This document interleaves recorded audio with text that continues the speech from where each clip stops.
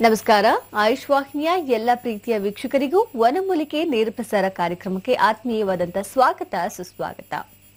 ಮುಣ್ಣು ಹೆಣ್, ಮುಟ್ಟು ಅನ್ನುವಂಥದ್ದು ಹೆಣ್ಣು ಮಕ್ಕಳ ದೇಹದ ಸಹಜವಾದಂಥ ಪ್ರಕ್ರಿಯೆ ಅಂತ ಹೇಳ್ಬೋದು. ಅದು ಪ್ರಕೃತಿ ದತ್ತವೂ ಹೌದು, ನಮ್ಮೆಲ್ಲರಿಗೂ ಕೂಡ ತಿಳಿದಿದೆ. ಆದರೆ ಇತ್ತೀಚಿನ ದಿನಗಳಲ್ಲಿ ನಾವು ನೋಡೋದಾದ್ರೆ ಮುಟ್ಟು ಅಂದಿದ ತಕ್ಷಣ ಹೆಣ್ಣು ಮಕ್ಕಳು ಭಯ ಬೀಳುವಂತ ಪರಿಸ್ಥಿತಿ ಎದುರಾಗಿದೆ ಅಂತಾನೆ ಹೇಳ್ಬೋದು. ಸಾಕಷ್ಟು ದಿನಗಳಲ್ಲಿ ನಾವು ನೋಡಬಹುದಾಗಿದೆ, ಇನ್ನೇನು ಕೆಲವು ದಿನಗಳಿದೆ, ನಾಲ್ಕೈದು ದಿನಗಳಿದೆ ಮುಟ್ಟು ಬರುವಾಗಲೇ ಅನ್ನೋದಕ್ಕೇನೆ ಬಹಳಷ್ಟು ರೀತಿಯಾದಂತಹ ಹೆದರಿಕೆ ಉಂಟಾಗುತ್ತೆ ಹೆಣ್ಣು ಮಕ್ಕಳಲ್ಲಿ ಅಂತಾನೆ ಹೇಳ್ಬೋದು. ಕಾರಣ ಎಲ್ಲರಿಗೂ ಗೊತ್ತಿರೋ ಹಾಗೆ ಆ ಒಂದು ಸಮಯದಲ್ಲಿ ಬರುವಂತ ಅಧಿಕವಾದಂತ ನೋವು ಅಂತಾನೆ ಹೇಳ್ಬೋದು. ಇತ್ತೀಚಿನ ದಿನಗಳಲ್ಲಿ ಈ ಸಮಸ್ಯೆಗಳು ಹೆಚ್ಚಾಗ್ತಾ ಹೋಗ್ತಾ ಇದೆ. ಮುಟ್ಟು ಬರೋದೇ ಬೇಡ, ಇನ್ನಷ್ಟು ತಡವಾಗಿ ಬರಲಿ ನಮ್ಮ ಹೆಣ್ಣು ಮಕ್ಕಳಿಗೆ ಅನ್ನುವಂತ ತಾಯಂದ್ರು ಕೂಡ ಇದ್ದಾರೆ ಅಂತಾನೆ ಹೇಳ್ಬೋದು.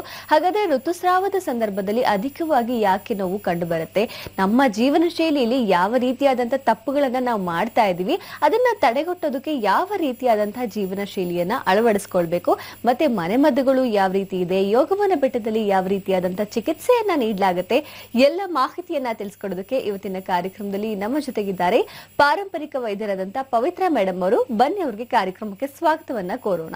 ಮೇಡಮ್ ನಮಸ್ತೆ. ಕಾರ್ಯಕ್ರಮಕ್ಕೆ ಸ್ವಾಗತ. ನಮಸ್ಕಾರ. ಇದು ನೇರ ಪ್ರಸಾರ ಕಾರ್ಯಕ್ರಮ ಆಗಿರೋದ್ರಿಂದ ನೀವು ಕೂಡ ನೇರವಾಗಿ ಕಾರ್ಯಕ್ರಮಕ್ಕೆ ಕರೆ ಮಾಡಬಹುದಾಗಿದೆ. ಯಾವುದೇ ರೀತಿಯಾದಂತಹ ಸಮಸ್ಯೆಗಳಿರಬಹುದು ನಿಮ್ಮ ಪ್ರಶ್ನೆ ನೇರವಾಗಿರ್ಲಿ, ಹಾಗೆ ಸ್ಪಷ್ಟವಾಗಿರಲಿ, ಮೇಲ್ಗಡೆ ಜೀರೋ ಏಟ್ ಜೀರೋ ಇಂದ ಸಂಖ್ಯೆ ಆರಂಭಗೊಳ್ಳುತ್ತೆ. ಆ ನಂಬರ್ಗೆ ಕರೆ ಮಾಡೋದ್ರ ಮುಖಾಂತರ ಕಾರ್ಯಕ್ರಮದಲ್ಲಿ ನೇರವಾಗಿ ನಿಮ್ಮ ಸಮಸ್ಯೆಗಳನ್ನ ಕುರಿತಾಗಿ ಚರ್ಚೆ ಮಾಡಬಹುದು. ಮೇಡಮ್ ಋತು ನೋವು ಅನ್ನುವಂಥದ್ದು ಎಲ್ಲಾ ಮಹಿಳೆಯರಿಗೂ ಪರಿಚಯ ಇದ್ದೇ ಇರುತ್ತೆ. ಆದರೆ ಎಲ್ರಿಗೂ ಕೂಡ ಈ ಸಮಸ್ಯೆ ಇರೋದಿಲ್ಲ. ಕೆಲವರಲ್ಲಿ ಮಾತ್ರ ಇರುತ್ತೆ ಅಂತ ಹೇಳ್ಬೋದು. ಆದರೆ ಅಧಿಕವಾದಂಥ ಮಹಿಳೆಯರು ಇದರಿಂದ ಬಳಲ್ತಾ ಇದ್ದಾರೆ. ಋತು ನೋವಿಗೆ ಕಾರಣವೇನು? ಇತ್ತೀಚಿನ ಹೆಣ್ಣು ಮಕ್ಕಳ ಸಾಕಷ್ಟು ಸಮಸ್ಯೆಗಳಿಗೆ ಇವತ್ತಿನ ಜೀವನ ಶೈಲಿನೇ ಕಾರಣ ಅಂತ ಹೇಳ್ತೀವಿ. ಆಹಾರ ಕ್ರಮಗಳೇ ಕಾರಣವಾಗಿದೆ. ಯಾಕೆಂದ್ರೆ ಹಳೆಯ ಒಂದು ದಿನಗಳನ್ನ ನಾವು ನೆನಪಿಸ್ಕೊಳ್ಳೋದಾದ್ರೆ ಜೀವನ ಶೈಲಿ ಹೇಗಿತ್ತು ಅಂತ ಹೇಳಿದ್ರೆ ಹೆಣ್ಮಕ್ಳಿಗೆ ಸಾಕಷ್ಟು ಕೆಲಸ ಇತ್ತು. ದೇಹ ದಂಡಿಸುವಂತ ಕೆಲಸಗಳು. ದೇಹ ದಂಡನೆ ಜಾಸ್ತಿ ಆಗೋದ್ರಿಂದ ಎಲ್ಲ ಅಂಗಾಂಗಗಳು ತನ್ನ ಕೆಲಸವನ್ನ ತಾನು ನಿಭಾಯಿಸ್ತಾ ಇದ್ವು. ಯಾಕೆ ಅಂದ್ರೆ ಆ ಒಂದು ಸಂದರ್ಭಗಳಲ್ಲಿ ನಾವು ತಿಂದಂತ ಆಹಾರಗಳು ಸಂಪೂರ್ಣ ಜೀರ್ಣಕ್ರಿಯೆಗೊಂಡು ನಮ್ಮ ಎಲ್ಲ ಅಂಗಾಂಗಗಳಿಗೂ ಶಕ್ತಿಯನ್ನ ಕೊಡ್ತಾ ಇತ್ತು. ಜೊತೆಗೆ ಆ ತಿಂದಂತ ಆಹಾರಗಳು ಕೂಡ ಪೌಷ್ಟಿಕಾಂಶ ಉಳ್ಳಂತದ್ದಾಗಿರ್ತಾ ಇತ್ತು ಆ ತಿಂದಂತ ಆಹಾರಕ್ಕೆ ತಕ್ಕಷ್ಟು ಕೆಲಸಗಳನ್ನ ನಿಭಾಯಿಸ್ತಾ ಇದ್ರು. ಕೆಲಸ ಮಾಡಿದಾಗ ದಣಿವಾಗ್ತಾ ಇತ್ತು ನೀರನ್ನು ಹೆಚ್ಚಾಗಿ ಕುಡಿತಾ ಇದ್ರು. ಬೇಗ ಮಲಗ್ತಾ ಇದ್ರು ಬೇಗ ಹೇಳ್ತಾ ಇದ್ರು. ಪ್ರತಿಯೊಂದು ವಿಚಾರಗಳಲ್ಲೂ ಒಂದು ಶಿಸ್ತು ಅನ್ನೋದು ಇತ್ತು. ದೇಹಕ್ಕೆ ಏನು ಬೇಕು ದೇಹಕ್ಕೆ ಏನ್ ಬೇಕು ಅನ್ನೋದನ್ನ ಮಾತ್ರ ಅವತ್ತಿನ ದಿನಗಳಲ್ಲಿ ನಾವು ಕೊಡ್ತಾ ಇದ್ವು. ಅದು ಗೊತ್ತಿದ್ದು ಕೊಡ್ತಿದ್ರು ಗೊತ್ತಿಲ್ಲದೆ ಕೊಡ್ತಿದ್ರು ಅವತ್ತಿನ ಜೀವನ ಶೈಲಿ ದೇಹಕ್ಕೆ ಏನ್ ಬೇಕು ಅನ್ನೋದು ಕರೆಕ್ಟ್ ಆಗಿತ್ತು ಆದ್ರೆ ಇವತ್ತಿನ ಜೀವನ ಶೈಲಿ ನನಗೇನು ಬೇಕು ಅನ್ನೋದ್ರ ಬಗ್ಗೆ ಅಷ್ಟೇ ಯೋಚನೆ ಮಾಡ್ತಾ ಇದೀವಿ. ನಮ್ಮ ದೇಹಕ್ಕೆ ಏನ್ ಬೇಕು ಅನ್ನೋದನ್ನ ಯೋಚನೆ ಮಾಡದೇ ಇರೋದು ಇದು ಮೊದಲನೇ ತಪ್ಪಾಗಿ ನಮ್ಮ ಸಮಸ್ಯೆಗಳನ್ನ ಎದುರಿಸ್ತಾ ಇದೀವಿ. ಅದರಲ್ಲಿ ಈ ಋತು ನೋವು ಕೂಡ ಒಂದು ಮೂಲ ಕಾರಣ ನಮ್ಮ ಜೀವನ ಶೈಲಿ. ಋತು ನೋವು ಯಾಕೆ ಬರುತ್ತೆ? ಆ ಋತು ಸಂದರ್ಭದಲ್ಲಿ ರಕ್ತಸ್ರಾವ ಆಗ್ತಾ ಇರುತ್ತೆ. ರಕ್ತ ಸಂಚಾರ ನಡೀತಾ ಇರುತ್ತೆ. ಯಾವಾಗ ರಕ್ತ ಸಂಚಾರದಲ್ಲಿ ಅಡೆತಡೆ ಉಂಟಾಗ್ತದೋ ರಕ್ತ ಹರಿಲಿಕ್ಕೆ ಕಷ್ಟವಾಗುತ್ತೋ ಅಂತ ಸಂದರ್ಭದಲ್ಲಿ ವಿಪರೀತ ನೋವು ಕಾಣಿಸ್ಕೊಳ್ಳುತ್ತೆ. ಯಾಕಂದ್ರೆ ಈ ರಕ್ತ ಸಂಚಾರದಲ್ಲಿ ಯಾಕೆ ಕೊರತೆ ಆಯ್ತು? ಅದು ಯಾಕೆ ಅಲ್ಲಿ ನೋವು ಬಂದೇ ರಕ್ತ ಬರಬೇಕಾಗಿತ್ತ? ರಕ್ತ ಸಂಚಾರ ಯಾಕೆ ತೊಂದರೆ ಆಯ್ತು ಅಂತ ಯೋಚನೆ ಮಾಡಿದ್ರೆ ಮೊದಲ ಸಮಸ್ಯೆ ಹೆಣ್ಣು ಮಕ್ಕಳಲ್ಲಿ ವ್ಯಾಯಾಮದ ಕೊರತೆ. ದೇಹಕ್ಕೆ ಯಾವುದೇ ರೀತಿ ವ್ಯಾಯಾಮ ಇಲ್ಲದೆ ಇರೋದು ಹೆಣ್ಣು ಮಕ್ಕಳಲ್ಲಿ ಈ ನೋವಿಗೆ ಮುಖ್ಯ ಕಾರಣ ಆಗ್ತದೆ. ನಂತರ ತಿನ್ನೋ ಆಹಾರಗಳು ಮೊದಲನೇ ಕಾರಣ ಆಗತ್ತೆ. ತಿನ್ನೋ ಆಹಾರಗಳಲ್ಲಿ ಆದಷ್ಟು ಉಷ್ಣ ಆಗುವಂತದ್ದೇ ಆಹಾರ ಪದ್ಧತಿಯನ್ನು ಬೆಳ ಬಳಸ್ಕೊಂಡಿರೋದು. ಯಾಕೆಂದ್ರೆ ಒಂದು ದೇಹ ದಂಡನೆ ಇಲ್ಲದೆ ಇರೋದ್ರಿಂದ ಇತ್ತೀಚಿನ ಆಹಾರಗಳು ಜೀರ್ಣ ಮಾಡೋದೇ ಕಷ್ಟ ಆಗಿದೆ. ಅಂತದ್ರಲ್ಲಿ ನಾವು ವಿರುದ್ಧ ಆಹಾರಗಳನ್ನೇ ಆಯ್ಕೆ ಮಾಡ್ಕೊಳ್ತಾ ಇದೀವಿ ಮನೆ ಆಹಾರ ಅಂತ ತಗೊಂಡ್ರು ಕೂಡ ಗೋಧಿ ಚಪಾತಿ ಇದ್ದೇ ಇರುತ್ತೆ. ಗೋಧಿಯಿಂದ ಮಾಡಿರುವಂತ ಪದಾರ್ಥಗಳು. ಆದ್ರೆ ಆ ಗೋಧಿ ಚಪಾತಿ ಜೊತೆಗೆ ಏನ್ ತಿಂತಾ ಇದೀವಿ ತರಕಾರಿ ಪಲ್ಯ ಇಲ್ಲ ತುಪ್ಪ ಇಲ್ಲ ಮೊಸರು ಇಲ್ಲ ಮಜ್ಜಿಗೆ ಬಳಸ್ತಾ ಇಲ್ಲ ಹಾಲು ಕುಡಿತಾ ಇಲ್ಲ. ಕೇವಲ ಚಪಾತಿನಷ್ಟೇ ಕಾನ್ಸಂಟ್ರೇಟ್ ಮಾಡ್ತಾ ಇದೀವಿ ನಾವು. ನಂತರ ಹೊರಗೆ ಅಂತ ಬಂದಾಗ ಬೇಕರಿ ಐಟಮ್ಸ್ ಇರಬಹುದು ಖಾರ ಮಸಾಲೆಗಳನ್ನು ಹೆಚ್ಚಾಗಿ ಬಳಸುವಂಥದ್ದು ಕಾಫಿ ಟೀ ಹೆಚ್ಚಾಗಿ ಕುಡಿಯುವಂಥದ್ದು ನಾನ್ ವೆಜ್ಗಳು ಮಾಂಸಾಹಾರ ಹೆಚ್ಚಾಗಿ ಸೇವನೆ ಮಾಡೋದಿರ್ಬೋದು. ನೆಕ್ಸ್ಟ್ ಹೋಟೆಲ್ಗಳಿಗೆ ಹೋದ್ರು ಅಲ್ಲೂ ಬಾಯಿ ರುಚಿಗೆ ಏನೇನು ಬೇಕೋ ಹೊಟ್ಟೆ ಹಾಳು ಮಾಡೋಂಥದ್ದೆಲ್ಲ ತಗೊಳ್ತೀವಿ. ಈ ರೀತಿ ಎಲ್ಲವೂ ವಿರುದ್ಧ ಆಹಾರಗಳನ್ನೇ ಕೊಡ್ತಾ ದೇಹದಲ್ಲಿ ಒಂದು ಉಷ್ಣತೆ ಅನ್ನೋದು ಹೆಚ್ಚಾಗ್ತಾ ಇದೆ. ಫ್ಯಾಟ್ ಅನ್ನೋದು ಜಾಸ್ತಿ ಆಗ್ತಾ ಇದೆ. ಈ ಉಷ್ಣ ಫ್ಯಾಟ್ ಒತ್ತಡಗಳೇನಾಗ್ತದೆ ನಮ್ಮ ಗರ್ಭಕೋಶವನ್ನ ಹಾಳು ಮಾಡ್ತಾ ಇದೆ. ಗರ್ಭಕೋಶದಲ್ಲಿ ರಕ್ತ ಸಂಚಾರ ಆಗೋದನ್ನ ತಡೀತಾ ಇದೆ. ಈ ಉಷ್ಣಾಂಶ ಅನ್ನೋದು ಗರ್ಭಕೋಶದ ನೋವನ್ನ ಕೂಡ ಬರೆಸ್ತಾ ಇದೆ. ಇದು ಒಂದು ಕಾರಣ. ನೆಕ್ಸ್ಟ್ ಇನ್ನೂ ಕಾರಣ ಅಂದ್ರೆ ನೀರ್ ಕುಡಿಯೋದೇ ಕಡಿಮೆ ಹೆಣ್ಮಕ್ಳು. ಇತ್ತೀಚಿನ ಹೆಣ್ಮಕ್ಳು ನೀರ್ ಎಷ್ಟು ಕುಡಿತೀರಾ ಅಂದ್ರೆ ಒಂದರಿಂದ ಎರಡ್ ಲೀಟರ್ನೇ ನಾನು ಹೆಚ್ಚಿಗೆ ಕುಡಿತೀನಿ ಅನ್ನೋ ಭಾವನೆ ಇದೆ. ಆದ್ರೆ ಆ ನೀರು ಕಡಿಮೆ ಕುಡಿಯೋದು ಒಂದು ಮುಖ್ಯ ಕಾರಣವಾಗಿ ಪೀರಿಯಡ್ಸ್ ಅಲ್ಲಿ ನೋವು ಬರ್ಲಿಕ್ಕೆ ಸಾಧ್ಯತೆ ಇದೆ. ಹಾಗಾಗಿ ನೀರನ್ನ ಹೆಚ್ಚಾಗಿ ಕುಡಿಬೇಕು ಅನ್ನೋದನ್ನ ತಿಳ್ಕೊಳ್ಬೇಕಾಗತ್ತೆ. ಇನ್ನು ಆದಷ್ಟು ತಂಪು ಮಾಡೋದನ್ನ ನಾವು ತಿಳ್ಕೊಂಡಿಲ್ಲ. ತಂಪು ಮಾಡೋದು ಹೇಗೆ? ಆ ದೇಹಕ್ಕೆ ಹೇಗೆ ನಾವು ತಂಪು ಮಾಡ್ಕೊಳ್ಬೇಕಿತ್ತು ಅದನ್ನ ಯಾವ್ದ್ರಿಂದ ಪಡ್ಕೋಬೇಕು ಅನ್ನೋದ್ರ ಬಗ್ಗೆ ಯೋಚನೆ ಮಾಡ್ತಲ್ಲ. ಏನ್ ಮಾಡ್ತಾರೆ? ತಂಪು ಮಾಡೋದು ಅಂದ್ರೆ ಕೂಲ್ ಡ್ರಿಂಕ್ಸ್ ಗಳನ್ನ ತಗೊಳ್ಳೋದು ಫ್ರಿಜ್ ಅಲ್ಲಿ ಇರೋದನ್ನ ತಿನ್ನೋದು. ಇದೆಲ್ಲ ತಂಪು ಅಂತ ಅನ್ಕೊಳ್ತಾರೆ. ಆದ್ರೆ ತಂಪು ಮಾಡ್ಲಿಕ್ಕೆ ಏನೇನ್ ಮಾಡ್ಬೇಕು ಯಾವ ರೀತಿ ಮಾಡ್ಬೇಕು ಅನ್ನೋದ್ರ ಬಗ್ಗೆ ಅರಿವಿಲ್ದೇ ಇರೋದು ಕೂಡ ಇದಕ್ಕೆ ಮುಖ್ಯ ಕಾರಣ ಆಗುತ್ತೆ. ಖಂಡಿತ ಮೇಡಮ್ ಮತ್ತಷ್ಟು ಮಾತನಾಡೋಣ. ಕಾರ್ಯಕ್ರಮದಲ್ಲಿ ಒಂದು ಕರೆ ಇದೆ. ಹಲೋ ನಮಸ್ತೆ. ಹಲೋ ಹಲೋ ನಮಸ್ಕಾರ ಮೇಡಮ್ ಎಲ್ಲಿಂದ ಕರೆ ಮಾಡ್ತಿದ್ದೀರಾ? ನಾವಿಲ್ಲಿ ಹೊಳೆಯಲ್ರಿಂದ ಮಾತಾಡೋದು ಮೇಡಮ್ ಪವಿತ್ರ ಮೇಡಮ್ ಇದ್ದಾರೆ. ಸರ್ ಪ್ರಶ್ನೆ ಕೇಳಿ. ಹಾ ಇದು ನಮ್ಮ ಹುಡುಗಂದು ತಾರೀ- ತಾರೀಖು ಡೇಟ್ ಹೇಳಿದ್ರೆ ಮೇಡಮ್. ಏನ್ ಸಮಸ್ಯೆ ಇದೆ? ಏನ್ ಆರೋಗ್ಯದ ಸಮಸ್ಯೆ ಇದೆ ತಿಳಿಸಿ? ಆರೋಗ್ಯ ಸಮಸ್ಯೆ ಅವನ ವೈವಾಹಿಕ ಜೀವನದ ಬಗ್ಗೆ ಕೇಳಬೇಕು ದಯವಿಟ್ಟು ಇದು ಆರೋಗ್ಯಕರ ಒಂದು ಕಾರ್ಯಕ್ರಮ ಆಗಿರೋದ್ರಿಂದ ನಿಮ್ಗೆ ಯಾವುದೇ ರೀತಿಯಾದಂತಹ ಆರೋಗ್ಯದ ಸಮಸ್ಯೆಗಳಿದ್ರೆ ನೇರವಾಗಿ ಕರೆ ಮಾಡಬಹುದಾಗಿದೆ.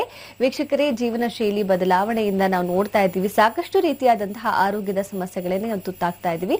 ಹಾಗಾಗಿ ನೀವು ಕೂಡ ಆರೋಗ್ಯದ ಸಮಸ್ಯೆಗಳನ್ನ ಕುರಿತಾಗಿ ಯಾವುದೇ ರೀತಿಯಾದಂತಹ ಮಾಹಿತಿ ಬೇಕಾಗಿದ್ರು ಕೂಡ ಮೇಲ್ಗಡೆ ಬರ್ತಿರುವಂತಹ ದೂರವಾಣಿ ಸಂಖ್ಯೆಗೆ ನೇರವಾಗಿ ಕರೆ ಮಾಡಬಹುದಾಗಿದೆ. ಇನ್ನು ನೆನಪಿರ್ಲಿ, ಪ್ರತಿ ಮಂಗಳವಾರ ಮತ್ತು ಬುಧವಾರ ಬಾಗಲಕೋಟೆಯಲ್ಲಿ ಪವಿತ್ರ ಮೇಡಮ್ ಅವರು ನೇರವಾಗಿ ಸಿಗ್ತಾರೆ. ಬಾಗಲಕೋಟೆ ಸುತ್ತಮುತ್ತ ಯಾರೆಲ್ಲ ಇದ್ದೀರಾ ನೇರವಾಗಿ ಅವರನ್ನ ಭೇಟಿಯಾಗಬಹುದು ಮತ್ತೊಂದು ಕರೆ ಇದೆ. ಹಲೋ ನಮಸ್ತೆ. ಹಲೋ. ನಮಸ್ಕಾರ. ಎಲ್ಲಿಂದ ಕರೆ ಮಾಡ್ತಿದ್ದೀರಾ? ನಾವು ಕೊಡಗಿಂದ. ಏನ್ ಸಮಸ್ಯೆ ಇದೆ ತಿಳಿಸಿ ಸರ್? ಹಲ್ನೋವಿಗೆ ಆಹಾರ ಪದ್ಧತಿ ಏನು ತಿಳಿಸಿ ಬದನೆಕಾಯಿ ಎಲ್ಲ ತಿನ್ಬಾರ್ದು ಅಂತಾರೆ. ನಿಜನಾ? ಅದಕ್ಕೇನಾದ್ರು ಆರೋಗ್ಯ ಸಮ ಆರೋಗ್ಯಕ್ಕೆ ಏನ್ ಮಾಡ್ಬೇಕು ಅಂತ ಹೇಳಿ. ಓಕೆ, ಹಲ್ಲಿನ ಸಮಸ್ಯೆ ಯಾವ ತರದ್ದಿದೆ ಅನ್ನೋದನ್ನ ತಿಳ್ಕೊಳ್ಳಿ. ಹಲ್ಲು ಸಂಪೂರ್ಣ ಹುಳ ಆಗಿದೆ, ಅದು ತೂತ್ ಬಿದ್ದಿದೆ. ಹಲ್ಲುಗಳಲ್ಲಿ ನಾನು ಏನೇ ಸೇವನೆ ಮಾಡ್ಲಿಕ್ಕೆ ಹೋದ್ರು ಆ ಹಲ್ಲುಗಳ ಸಂಧಿಯಲ್ಲಿ ನನ್ನ ಆಹಾರಗಳು ಹೋಗಿ ಸೇರ್ಕೊಂಡು ತುಂಬಾ ಹಿಂಸೆ ಕೊಡುತ್ತೆ, ನೋವಾಗತ್ತೆ. ಈ ರೀತಿಯ ಸಮಸ್ಯೆಗಳಿದ್ದಲ್ಲಿ ನಿಮ್ಮ ಹಲ್ಲನ್ನ ಸ್ವಚ್ಛಗೊಳಿಸಿ ಅದಕ್ಕೆ ರೂಟ್ ಕ್ಯಾನಲ್ ಅಂತ ಹೇಳಿ ನಿಮ್ಮ ದಂತ ಚಿಕಿತ್ಸಕರು ಮಾಡ್ತಾರೆ. ಅದಕ್ಕೆ ರೂಟ್ ಕ್ಯಾನಲ್ ಮಾಡಿಸಿ ನೀವು ಅದನ್ನ ಕ್ಯಾಪ್ ಹಾಕ್ಸಿ ಆ ಒಂದು ಹಲ್ಲನ್ನ ಉಳಿಸ್ಕೊಳ್ಳೋದು ತುಂಬಾ ಮುಖ್ಯವಾಗಿರುತ್ತೆ. ಇನ್ನು ಕೆಲವರಲ್ಲಿ ಯಾವುದೇ ರೀತಿ ಹಲ್ಲು ಹಾಳಾಗಿರೋದಿಲ್ಲ, ಆದರೂ ನೋವುಗಳು ಮಾತ್ರ ಒಳಭಾಗದಿಂದನೇ ಸೆಳೆತ ಆಗೋದು, ನೋವಾಗೋದು ಆಗ್ತಾ ಇರ್ತದೆ. ಇಂಥ ಸಂದರ್ಭಗಳಲ್ಲಿ ಅತಿಯಾದ ಬಿಸಿ ಆಹಾರಗಳು, ಅತಿಯಾದ ತಣ್ಣಗಿನ ಆಹಾರಗಳನ್ನು ಸೇವಿಸಬಾರ್ದು. ಒಂದು ಮಧ್ಯಮ ಒಂದು ಅವಸ್ಥೆಯಲ್ಲಿ ಇರ್ಬೇಕಂದ್ರೆ ತುಂಬಾ ಬಿಸಿ ಬಿಸಿ ಇದನ್ನು ತಗೊಂಡಾಗ್ಲೂ ಹಲ್ಲುಗಳು ಹಾಳಾಗತ್ತೆ. ತುಂಬಾ ಕೋಲ್ಡ್ ಇರೋದನ್ನ ತಗೊಂಡಾಗ್ಲೂ ಹಾಳಾಗತ್ತೆ. ಅದು ಮೀಡಿಯಂ ಆಗಿ ಇರುವಂತ ಆಹಾರ ಇರಬೇಕು. ಜೊತೆಗೆ ತುಂಬಾ ಗಟ್ಟಿ ಆಹಾರಗಳನ್ನ ವಯಸ್ಸಾದ ನಂತರ ತುಂಬಾ ಗಟ್ಟಿ ಆಹಾರಗಳನ್ನ ಅಗದು ತಿನ್ನುವಾಗ್ಲೂ ಕೂಡ ಈ ಸಮಸ್ಯೆ ಆಗ್ತಾ ಇರತ್ತೆ. ಇನ್ನು ಆಲೂಗೆಡ್ಡೆ, ಬದನೆಕಾಯಿ, ಇದು ನಮ್ಮ ದೇಹದ ಯಾವುದೇ ಅಂಗಾಂಗಗಳಿಗೂ ಸಮಸ್ಯೆಯನ್ನು ಉಂಟು ಮಾಡುವಂತ ಆಹಾರ ಪದ್ಧತಿ ಆಗಿರೋದ್ರಿಂದ ಹೆಚ್ಚಾಗಿ ಸೇವನೆ ಮಾಡಬಾರ್ದು. ಈ ಆಲೂಗಡ್ಡೆಯಲ್ಲೂ ನಮಗೆ ಬೇಕಾದಂತ ಪೌಷ್ಟಿಕಾಂಶ ಇದೆ. ಆದ್ರೆ ಅದು ಆರೋಗ್ಯಕ್ಕೆ ಹಾನಿಯನ್ನು ಉಂಟು ಮಾಡೋದ್ರಿಂದ ಅತಿಯಾಗಿ ಸೇವನೆ ಮಾಡಬಾರದು ಅನ್ನೋದು ವಾಡಿಕೆಯಲ್ಲಿ ಇರ್ತಕ್ಕಂಥದ್ದು ಜೊತೆಗೆ ನಿಮ್ಮ ಹಲ್ಲಿನ ಸಮಸ್ಯೆಗಳಿಗೆ ಯೋಗವನ ಬೆಟ್ಟದಲ್ಲಿ ಲವಂಗಾದಿ ಹಲ್ಲು ಪುಡಿ ಅಂತ ಹೇಳಿ ಒಂದು ಹಲ್ಲು ಪುಡಿ ಸಿಗುತ್ತೆ. ಇದು ಆಯುರ್ವೇದ ಯುಕ್ತ ಹಲ್ಲು ಪುಡಿ ಇದರಿಂದ ನೀವು ಬಳಸ್ಕೊಳ್ಳೋದ್ರಿಂದ ಹಲ್ಲುಗಳು ಹಾಳಾಗದೇ ಇರೋ ಹಾಗೆ ಅಲ್ಲಿಗೆ ಸೆನ್ಸಿಟಿವಿಟಿ ಬರದೇ ಇರೋ ಹಾಗೆ ಕಾಪಾಡ್ಕೊಳ್ಬೋದು. ಧನ್ಯವಾದ ಕರೆ ಮಾಡಿದ್ದಕ್ಕಾಗಿ. ಮತ್ತೊಂದು ಕರೆ ಇದೆ. ಹಲೋ ನಮಸ್ತೆ. ಮೇಡಮ್ ನಮಸ್ತೆ ಮೇಡಮ್. ಮೇಡಮ್ ಹತ್ರ ಮಾತಾಡ್ಬೇಕಿತ್ತು. ಹ್ಮ್ ಪ್ರಶ್ನೆ ಕೇಳಿ ಏನ್ ಸಮಸ್ಯೆ ಇದೆ? ಓಕೆ ನಮ್ಮ ಹಸ್ಬೆಂಡ್ಗೆ ಫಿಫ್ಟಿ ಒನ್ ಇಯರ್ಸ್. ಓಕೆ. ಅವ್ರಿಗೆ ಕ್ರಾನಿಕ್ ಸಿಸ್ಟೈಟಿಸ್ ಅಂತ ಪ್ರಾಬ್ಲಮ್ ಆಗಿದೆ. ಅದಕ್ಕೆ ಹೋಮ್ ರೆಮಿಡೀಸ್ ಏನಾದ್ರು ಇದೆಯಾ? ಹೇಗೆ ಫರ್ದರ್ ಕಂಟಿನ್ಯೂ ಮಾಡ್ಬೇಕು ಅಂತ ಓಕೆ ಇದು ಕ್ರಾನಿಕ್ ಸಿಸ್ಟೈಟಿಸ್ ಆಗಿರೋದ್ರಿಂದ ನೀವು ಓಮ್ ರೆಮಿಡಿನಲ್ಲಿ ಸಂಪೂರ್ಣ ಗುಣ ಮಾಡ್ಕೊಳ್ಳೋದು ಕಷ್ಟ ಆಗುತ್ತೆ. ತಕ್ಷಣಕ್ಕೆ ಶಮನ ಮಾಡ್ಕೊಳ್ಬೋದಷ್ಟೇ. ಆದರೆ ಚಿಕಿತ್ಸೆ ಇದೆ. ಖಂಡಿತ ಚಿಕಿತ್ಸೆ ಪಡ್ಕೊಂಡು ಸರಿ ಮಾಡ್ಕೊಳ್ಳಿ. ಇದನ್ನ ನೀವು ಚಿಕಿತ್ಸೆಯಲ್ಲಿ ಸರಿಪಡಿಸ್ಕೊಳ್ಳಿಲ್ಲ ಅಂದರೆ ಮುಂದೆ ದೊಡ್ಡ ಸಮಸ್ಯೆಗಳಿಗೆ ಇದೇ ಕಾರಣ ಆಗ್ತದೆ. ಇದು ನಿಮ್ಮ ಮೂತ್ರನಾಳಗಳು ಅಂದ್ರೆ ಯೂರಿನರಿ ಟ್ರ್ಯಾಕ್ ಇನ್ಫೆಕ್ಷನ್ಗಳಿಗೆ ನಾವು ಈ ರೀತಿ ಸಮಸ್ಯೆಯನ್ನು ಎದುರಿಸಬೇಕಾಗತ್ತೆ. ಈ ಒಂದು ಸೋಂಕು ಯಾರ ನೀರನ್ನ ಬಹಳ ಕಡಿಮೆ ಸೇವನೆ ಮಾಡ್ತಿರ್ತಾರೆ ಮತ್ತು ಮದ್ಯಪಾನ, ಧೂಮಪಾನ ಚಟಗಳಿರ್ಬಹುದು ಕಾಫಿ, ಟೀ ಹೆಚ್ಚಾಗಿ ಸೇವನೆ ಮಾಡೋದು, ಮಾಂಸಾಹಾರ ಹೆಚ್ಚಾಗಿ ಸೇವನೆ ಮಾಡುವಂಥದ್ದು, ಇಂಥ ತಪ್ಪುಗಳನ್ನು ಯಾರು ಹೆಚ್ಚೆಚ್ಚು ಮಾಡ್ತಿರ್ತಾರೆ ಅಂಥವ್ರಲ್ಲಿ ಇದು ಕಾಣಿಸ್ಕೊಳ್ಳುತ್ತೆ. ಹಾಗೆ ಇದನ್ನ ನಿರ್ಲಕ್ಷ್ಯ ಮಾಡಬೇಡಿ. ಚಿಕಿತ್ಸೆ ಇದೆ. ಮನೆಯಲ್ಲಿ ಮಾಡ್ಬೇಕಂತ ಹೇಳಿದ್ರೆ ಎಳೆ ಸೌತೆಕಾಯಿ ತಿನ್ನೋದಿರ್ಬೋದು, ಬಾರ್ಲಿ ಗಂಜಿ ಸೇವನೆ ಇರೋದು, ಮತ್ತು ಹೊಟ್ಟೆ ಶುದ್ಧಿ ಮಾಡ್ತಕ್ಕಂಥದ್ದು. ಬೆಳಗ್ಗೆ ಖಾಲಿ ಹೊಟ್ಟೆಯಲ್ಲಿ ಎಳ್ನೀರಿಗೆ ನಿಂಬೆಹಣ್ಣು ಮತ್ತು ಕಲ್ಸಕ್ಕರೆ ಸೇರಿಸಿ ಬೆಳಗ್ಗೆ ಎದ್ದ ಕೂಡಲೇ ಇದನ್ನ ಸೇವನೆ ಮಾಡುವಂಥದ್ದು, ಮಜ್ಜಿಗೆ ಸೇವನೆ ಮಾಡ್ತಕ್ಕಂಥದ್ದು. ದೇಹ ತಂಪು ಮಾಡೋದ್ರ ಮುಖಾಂತರ ಸ್ವಲ್ಪ ಮಟ್ಟಿಗೆ ಶಮನವನ್ನ ಮಾಡ್ಕೊಳ್ಬೋದೇ ವಿನಃ ಸಂಪೂರ್ಣ ಗುಣ ಮಾಡ್ಲಿಕ್ಕೆ ಸಾಧ್ಯ ಇಲ್ಲ, ಚಿಕಿತ್ಸೆ ಪಡ್ಕೊಳ್ಬೋದು. ಧನ್ಯವಾದ ಕರೆ ಮಾಡಿದ್ದಕ್ಕಾಗಿ ಯೋಗವನ ಬೆಟ್ಟದ ಶಾಖೆಗಳು ಬೆಂಗಳೂರಿನಲ್ಲಿ ಕನಕಪುರ ರಸ್ತೆಯಲ್ಲಿದೆ. ಇನ್ನು ಕುಣಿಗಲು ಚಿತ್ರದುರ್ಗ, ಬಾಗಲಕೋಟೆ ಸೊ ನಾಲ್ಕು ಕಡೆ ಇರೋದ್ರಿಂದ ಯಾವುದು ಹತ್ತಿರದ ಶಾಖೆ ಅಂತ ಹೇಳಿ ಗುರುತಿಸಿಕೊಂಡು ನೇರವಾಗಿ ನೀವು ಹೋಗಿ ಭೇಟಿ ಮಾಡಬಹುದಾಗಿದೆ ವೈದ್ಯರನ್ನ. ಎಲ್ಲ ಯೋಗವನ್ನ ಬೆಟ್ಟದ ಶಾಖೆಗಳಲ್ಲೂ ಕೂಡ ನುರಿತ ತಜ್ಞ ವೈದ್ಯರಿದ್ದಾರೆ. ಹಾಗಾಗಿ ನೇರವಾಗಿ ಭೇಟಿ ಮಾಡೋದ್ರ ಮುಖಾಂತರ ಚಿಕಿತ್ಸೆಯನ್ನ ಪಡಿಬಹುದು. ಮುಂದಿನ ಕರೆ, ಹಲೋ, ನಮಸ್ತೆ. ನಮಸ್ಕಾರ, ಎಲ್ಲಿಂದ ಕರೆ ಮಾಡ್ತಿದ್ದೀರಾ? ಹಲೋ. ಹೇಳಿ ಏನ್ ಸಮಸ್ಯೆ ಇದೆ ತಿಳಿಸಿ? ಮೇಡಮ್ ನರಸೀಪುರದಿಂದ ಮಾಡ್ತಾ ಇದ್ದೀವಿ ಮೇಡಮ್? ಹಾ ಟಿವಿ ನೋಡ್ಕೊಂಡು ಮಾತನಾಡ್ಬಿಡಿ. ಮೇಡಮ್ ಇದ್ದಾರೆ ಮೇಡಮ್ ಪ್ರಶ್ನೆ ಕೇಳಿ. ಸರಿ. ಮಾತನಾಡಿ. ಮೇಡಮ್ ಅವರೇ? ಹಾ ಕೇಳಿಸ್ತದೆ ಹೇಳಿ ಸರ್. ಮೇಡಮ್ ನಾನು ಹೋದ ತಿಂಗಳು ಅಲ್ಲಿಗ ಬೆಟ್ಟಕ್ಕೆ ಬಂದಿದ್ದೀನಿ ಮೇಡಮ್ ಯೋಗನ ಬೆಟ್ಟಕ್ಕೆ? ಹ್ಮ್ ಹ್ಮ್. ಅಲ್ಲಿ ಇವಾಗ ನಾನು ಟ್ರೀಟ್ಮೆಂಟ್ ತಗೊಂಡಿನಿ ಮೇಡಮ್ ಅದು ಆ, ಅಣ್ಣ ಇಸಾಬ್ ಗೋಲ್ ಎರಡು ಮಾತ್ರ ತಗೊಂಡಿ ಮೇಡಮ್. ಸ್ವಲ್ಪ ಕೆಲ್ಸಗಳಿತ್ತು ಹೊಂಟೋಗ್ಬಿಟ್ಟಿ ಮೇಡಮ್. ಅದು ಇನ್ನು ತಗೊಂಡಿಲ್ಲ ಸ್ವಲ್ಪ ಏಜ್ ಮಾತ್ರ ಬರ್ತಾ ಇದೆ ಮೇಡಮ್. ಅಷ್ಟೇ ಇನ್ನೆಲ್ಲ ಸ್ವಲ್ಪ ಕಂಟ್ರೋಲ್ ಆಗಿದೆ. ಓಕೆ. ಆಯ್ತು ಇವಾಗ ತಗೊಂಡಿರೋ ಔಷಧಿಗಳನ್ನ ಕಂಟಿನ್ಯೂ ಮಾಡಿ. ನೀವು ಹೊಟ್ಟೆ ಶುದ್ಧಿ ಮಾಡಿದ್ರದ್ರಿಂದ ನಿಮಗೆ ಆರೋಗ್ಯದಲ್ಲಿ ಸ್ವಲ್ಪ ಮಟ್ಟಿಗೆ ಸಮಸ್ಯೆಗಳು ಕಡಿಮೆ ಆಗಿದೆ ಅಂತ ಅನ್ಸಿರುತ್ತೆ. ಆದ್ರೆ ನೀವು ಔಷಧಿಗಳನ್ನ ತಗೊಂಡೇ ಇಲ್ಲ ಅಂದಾಗ ಮತ್ತೆ ಅದು ಮರುಕಳಿಸೋ ಸಾಧ್ಯತೆಗಳಿರುತ್ತೆ. ಈಗ ನಿಮ್ಮ ಇಚ್ಛೆ ಪ್ರಕಾರ, ನೀವು ಹೇಳ್ತಾ ಇರೋ ಪ್ರಕಾರ ಹೊಟ್ಟೆ ಶುದ್ಧಿಯಲ್ಲೇ ನಾನು ಎಷ್ಟೋ ಸುಧಾರಣೆ ಆಗಿದ್ದೀನಿ ಅಂತ. ನಾವು ಕೂಡ ಇದನ್ನೇ ಹೇಳುವುದು ಪ್ರತಿಯೊಬ್ಬರಲ್ಲೂ ನಿಮ್ಮ ದೇಹ ಶುದ್ಧಿ, ನಿಮ್ಮ ಫಾಲೋಪ್ಗಳಲ್ಲೇ ನಿಮ್ಮ ಅರ್ಧ ಕಾಯಿಲೆಗಳು ಗುಣ ಆಗುತ್ತೆ. ಇನ್ ಅರ್ಧ ಕಾಯಿಲೆಯನ್ನ ಔಷಧಿಗಳು ಗುಣ ಮಾಡುತ್ತೆ. ಹಾಗಾಗಿ ನಿಮ್ಮ ತಪ್ಪುಗಳು ಮತ್ತು ಫಾಲೋಪ್ಗಳನ್ನ ಸರಿಯಾಗಿ ಮಾಡಿದ್ರೆ ಎಂಥ ಚಿಕಿತ್ಸೆಯನ್ನು ಕೂಡ ನಿಮ್ಮ ಸಮಸ್ಯೆಗಳನ್ನು ಗುಣಪಡಿಸ್ಕೊಳ್ಳಿಕ್ಕೆ ಸಹಾಯ ಮಾಡುತ್ತೆ. ಧನ್ಯವಾದ ಕರೆ ಮಾಡಿದ್ದಕ್ಕಾಗಿ. ಯಾವುದೇ ರೀತಿಯಾದಂತಹ ಆರೋಗ್ಯದ ಸಮಸ್ಯೆಗಳಿರಬಹುದು ನೇರ ಪ್ರಸಾರ ಕಾರ್ಯಕ್ರಮಕ್ಕೆ ನೀವು ಕೂಡ ಕರೆ ಮಾಡಬಹುದಾಗಿದೆ. ಆದಷ್ಟು ನಿಮ್ಮ ಪ್ರಶ್ನೆ ನೇರವಾಗಿರಲಿ ಹಾಗೆ ಸ್ಪಷ್ಟವಾಗಿರಲಿ ಟಿವಿ ವಾಲ್ಯೂಮ್ ಅನ್ನ ಕಂಪ್ಲೀಟ್ ಆಗಿ ಮ್ಯೂಟ್ ಮಾಡಿ ಅಥವಾ ಹೊರಗಡೆ ಬಂದು ಮಾತನಾಡಬಹುದು ಮತ್ತೊಂದು ಕರೆ ಹಲೋ ನಮಸ್ತೆ. ನಮಸ್ತೆ. ಎಲ್ಲಿಂದ ಕರೆ ಮಾಡ್ತಿದ್ದೀರಾ? ನಾವು ಬ್ಯಾಂಗ್ಳೂರಿಂದ ಕಾಲ್ ಕಾಲ್ ಮಾಡ್ತಿದ್ದೀವಿ. ಏನ್ ಸಮಸ್ಯೆ ಇದೆ ತಿಳಿಸಿ. ಮೇಡಮ್ ಇದ್ದಾರೆ. ಕೊಡಿ ಮೇಡಮ್ ನಮಸ್ತೆ ಹೇಳಿಮಾ ಮೇಡಮ್ ನನ್ನ ಹೆಸರು ಅಶ್ವಿನಿ ಅಂತ. ಮೇಡಮ್ ನನ್ಗೆ ಯೂರಿನ್ ಯೂರಿನ್ ಹೋಗ್ಬೇಕು ಅನ್- ಅಂದ್ ಕೂಡ್ಲೇನೆ ಮೈಂಡ್ ಬಂದ್ರೆ ನಂಗೆ ಕಂಟ್ರೋಲ್ ಮಾಡೋದಕ್ಕೆ ಆಗೋದಿಲ್ಲ ಮೇಡಮ್ ಓಕೆ ಓಕೆ ಮತ್ತೆ ಯೂರಿನ್ ಪಾಸ್ ಮಾಡಿದಾಗ ಕಂಪ್ಲೀಟ್ ಹೋದೆ ಅಂತ ಅನ್ಸುತ್ತಾ ಮತ್ತೆ ಉಳಿದಿದೆ ಅಂತ ಅನ್ಸುತ್ತೆ? ಇಲ್ಲ ಇಲ್ಲ. ಕಂಪ್ಲೀಟ್ ಹೋದ್ಮೇಲೆ ಸ್ಯಾಟಿಸ್ಫೈ ಆಗುತ್ತೆ. ಓಕೆ ಮತ್ತೆ ಸ್ವಲ್ಪ ಹೊತ್ತಿಗೆ ಅದೇ ರೀತಿ ಅನ್ಸುತ್ತಾ?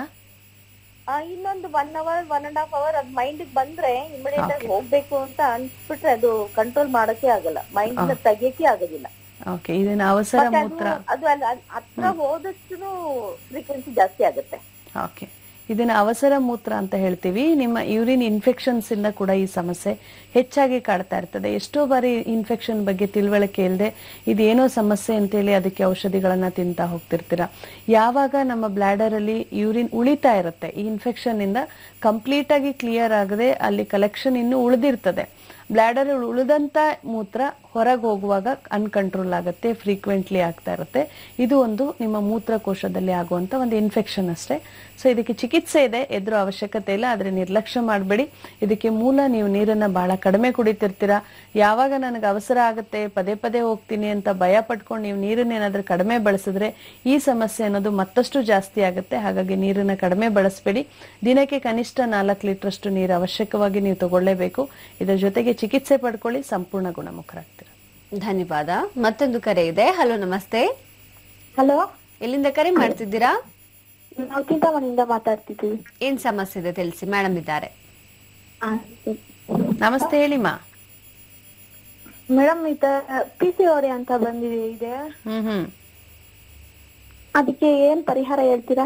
ಚಿಕಿತ್ಸೆ ನೀವು ಯೋಗವನ ಬೆಟ್ಟದಲ್ಲಿ ಚಿಕಿತ್ಸೆ ಪಡ್ಕೊಳ್ಬಹುದಮ್ಮ ಪಿ ಸಿ ಓಡಿಗೆ ಮೂಲ ಕಾರಣ ತೀವ್ರ ಮಲಬದ್ಧತೆ, ಆಹಾರದ ಕ್ರಮ ನೀರನ್ನ ಕಡಿಮೆ ಸೇವನೆ ಮಾಡೋದ್ರಿಂದ ಪಿ ಸಿ ಓಡಿ ಸಮಸ್ಯೆ ಬರುತ್ತೆ. ಅಜೀರ್ಣ ಆಹಾರಗಳನ್ನ ಹೆಚ್ಚಾಗಿ ಸೇವನೆ ಮಾಡೋದಿರ್ಬೋದು. ನೀರು ಕಡಿಮೆ ಕುಡಿಯೋದು ಈ ಎರಡು ಸಮಸ್ಯೆಯಿಂದ ಮಲಬದ್ಧತೆ ಆಗುವಂಥದ್ದು. ಈ ಮೂರು ಕಾರಣಗಳು ಪಿ ಸಿ ಓಡಿಗೆ ಕಾರಣ ಆಗುತ್ತೆ. ಚಿಕಿತ್ಸೆ ಇದೆ, ಖಂಡಿತ ಭೇಟಿ ಮಾಡಿ ಚಿಕಿತ್ಸೆ ಪಡ್ಕೊಳ್ಳಿ. ಧನ್ಯವಾದ. ನೀವು ಭಾವಿಸಿದಷ್ಟು ಸುಲಭವಾದಂತ ಆರೋಗ್ಯದ ಸಮಸ್ಯೆ ಪಿ ಸಿ ಓಡಿ ಸಮಸ್ಯೆ ಅಲ್ಲ. ಬಹಳಷ್ಟು ಕಡೆಯಿಂದ ಅದಕ್ಕೆ ತುಂಬಾ ಒಂದು ಯಾವುದೇ ರೀತಿಯಾದಂತ ನೀವು ತುಂಬಾ ಸುಲಭ ಅನ್ಕೊಂಡಿರೋ ತರ ಇರೋದಿಲ್ಲ. ಸೊ ಮಲ್ಟಿಪಲ್ ಅಪ್ರೋಚ್ ಅಂತ ನಾವೇನ್ ಹೇಳ್ತೀವಿ ಅದು ಬೇಕಾಗುತ್ತೆ. ಸೊ ಹಾಗಾಗಿ ನೀವು ಯೋಗವನ್ನ ಬೆಟ್ಟದ ಶಾಖೆಗೆ ಹೋಗಿ ಚಿಕಿತ್ಸೆ ತೆಗೆದುಕೊಳ್ಳೋದು ಬಹಳ ಉತ್ತಮವಾಗಿರುತ್ತೆ. ಮತ್ತೊಂದು ಕರೆ ಹಲೋ ನಮಸ್ತೆ. ನಮಸ್ತೆ. ಎಲ್ಲಿಂದ ಕರೆ ಮಾಡ್ತಿದ್ದೀರಾ? ನಾವು ಕೊಡಗಿಂದ. ಮಾತನಾಡಿ ಮೇಡಮ್ ಇದ್ದಾರೆ.